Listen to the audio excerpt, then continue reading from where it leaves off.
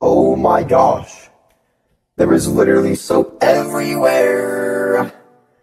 I don't know what to do. No one's home. The paper towels are gone. I can't use anything to wipe it up. Oh my gosh, just literally just dripping. Look at it. It's disgusting. It's like an ice cream dispenser.